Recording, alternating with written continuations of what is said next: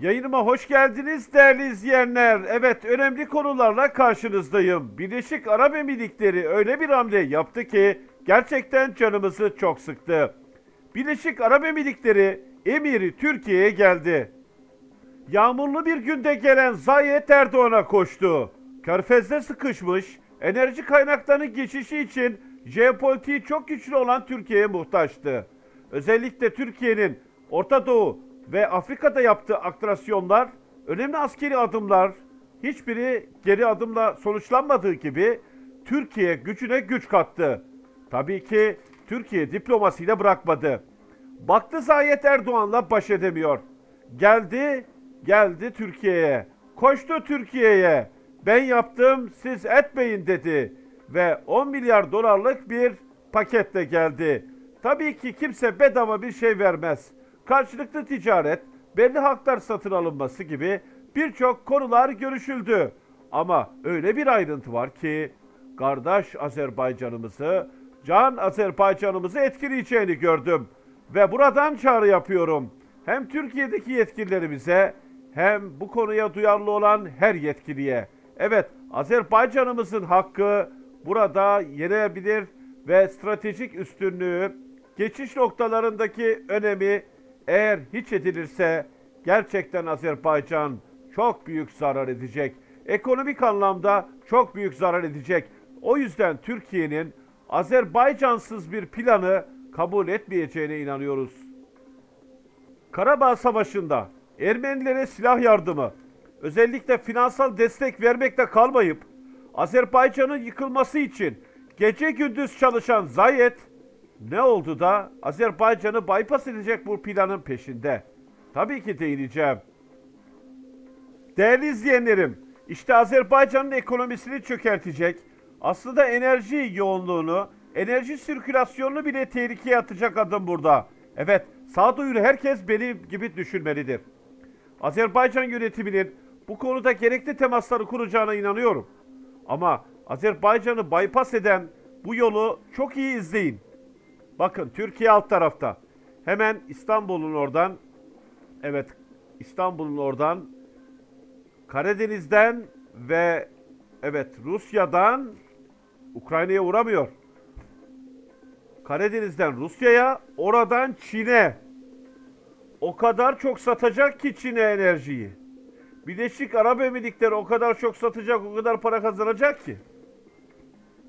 Dubai Limanı yönetimi İstanbul'dan Kazakistan ve Rusya üzerinden Çin'e lojistik yolu açmak istiyor. Böylece Azerbaycan'ı bypass edecek. Azerbaycan'ın enerji anlamındaki sıkıntısını anlatayım mı? Şimdi daha çok olacaksınız. Geçiş güzergahı rolünü kaybeden ve bu yönde bütün artık Çin'e gidecek, Kazakistan'a, Rusya'ya gidecek enerjiler buradan da aktarılacağı için Azerbaycan geçiş ve transit gücünü kaybettiği gibi Gürcistan'da bunu kaybedecek. Evet, yer yer İran'da etkilenecek. Komşuda pişir, bana düşer mi öyle bir şey vardır. Yani İran da burada zarar görecek. Güzel yürekli, temiz yürekli, gönlü zengin insanlar. Azerbaycan'daki kardeşlerimizin önemli gelirleri şunlar. 1. Enerji gelirleri petrol ve doğalgaz. 2. Lojistik gelirler. Yani sınırdan geçişlerde ödenen paralar. Azerbaycan'ın ana omurgasını, ekonomisinin bunlar oluşturuyor.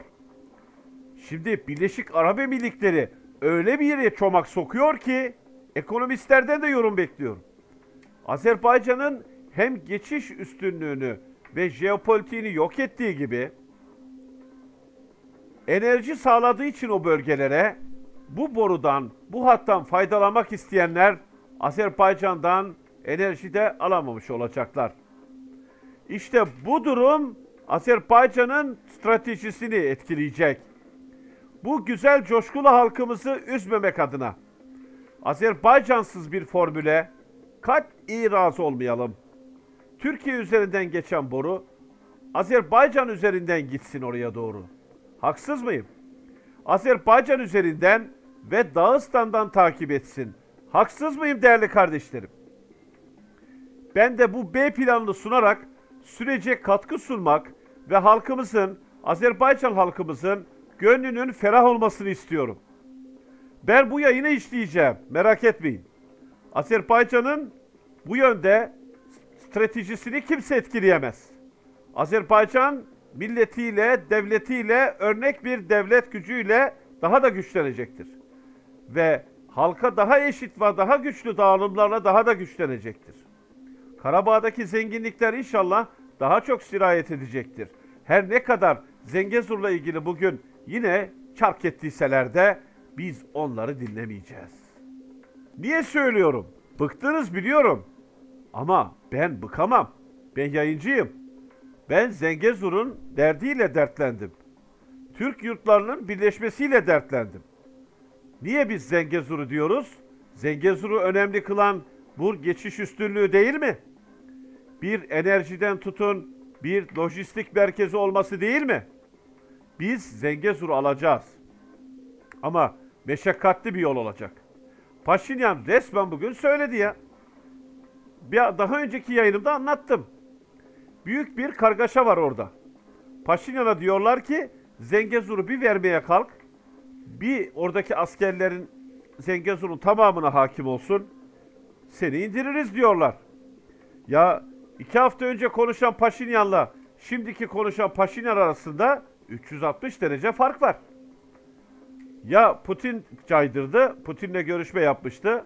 Bu çok güçlü bir etken. Bir de Cumhurbaşkanı Sarkisyan'ın içeriği kışkırtması. Değerli izleyenlerim, Azerbaycan'ın ekonomik savaşı da devam ediyor. Halkı ekonomisi savaşlar yöneliyle yorulmuş bir evet ekonomi. O yüzden Azerbaycan'ı bypass edecek bir planı asla kabul etmiyoruz. Azerbaycan'ın enerjisinin değerlenmesini etkileyecek olan adımları destekliyoruz. Örneğin Azerbaycan kaynaklarının ve petrolün Azerbaycan'dan geçecek şekilde Türkiye'den gelen hattın Azerbaycan'dan geçecek şekilde özellikle evet özellikle böyle bir imkanla sağlanıp geçiş şartında Azerbaycan'a yüksek bir gelir veya Azerbaycan'ın da o boru hattından Çin'e ihraç yapma olanağı tanınması veya Kazakistan'a. Demem odur ki biz bir olursak böyle oluruz. Biz beraber olursak böyle oluruz. Kederde, tasada, çıkarda birliğimizi korumamız gerekiyor. Nasıl Zengezur'da berabersek Birleşik Arap Emirlikleri'nin Azerbaycan'ı jeopolitik anlamda yok edecek ve artık enerjisini kimseye sattıramayacak hale bırakacak olan bu bayenin planını evet iptal ettirmek için gece gündüz çalışalım.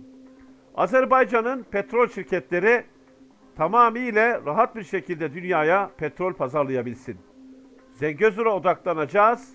Bakalım gelecek günler ne getirecek. Ama Ermenileri dinlemeye gerek yok. Alacağız geçeceğiz. Başka çaresi yok. Rusya da izleyecek.